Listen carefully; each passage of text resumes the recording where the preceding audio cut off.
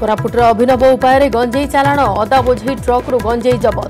ଧରିଲା ଜୟପୁର ସଦର ଥାନା ପୋଲିସ ସେପଟେ ଭେଜା ଛକରୁ ବାଲି ବୋଝେଇ ହାଇୱାରୁ ଚାରିଶହ ବତିଶ କେଜି ଗଞ୍ଜେଇ ଜବତ ଉଭୟ ଘଟଣାରେ ଚାରି ଅଟକ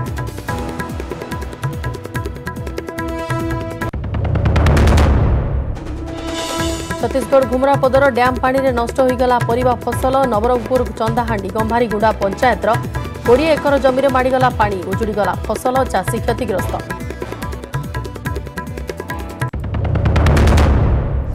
ପାଇପ୍ ବିଛା ହେବା ପରେ ବି ମେଣ୍ଟୁ ନାହିଁ ଶୋଷ ଦୁଇହଜାର ଉଣେଇଶରୁ ଉପରେ ଟ୍ୟାଙ୍କ ଅଛି ହେଲେ ଆସୁନି ପାଣି ସୁନ୍ଦରଗଡ଼ ପୌରପାଳିକାରେ ପାନୀୟ ଜଳ ସମସ୍ୟା ପାଣି ପାଇଁ ଲୋକେ କଲବଲ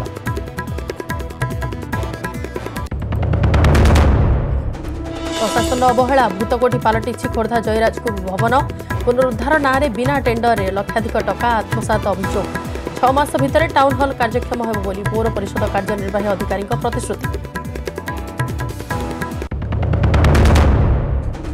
जो तरे दीतियो कोरना स्ट्ट्रेंट भाय अवेपिक और चार्च्रगडा बासी वाजार घाट सबूट की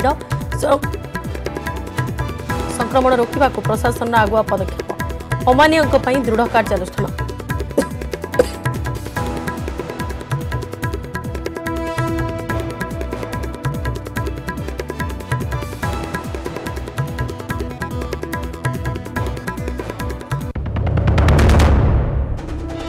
ଇଟାଭାଟିରେ ଯାଞ୍ଚ ବେଳେ ଆକ୍ରମଣ କୋଇଲା ମାଫିଆଙ୍କୁ ଅଟକାଇବାରୁ ଭଦ୍ରକ ନାଲଗୁଣ୍ଡାରେ ଆର୍ପିଏଫ୍ କର୍ମଚାରୀଙ୍କୁ ମାଡ଼ ଦୁଇ କର୍ମଚାରୀ ଗୁରୁତର ହସ୍ପିଟାଲରେ ଭର୍ତ୍ତି